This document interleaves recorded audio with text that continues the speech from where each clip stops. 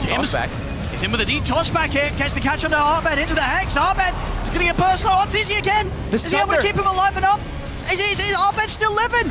He does it once more. Abed will not die here thanks to the backup of Artor.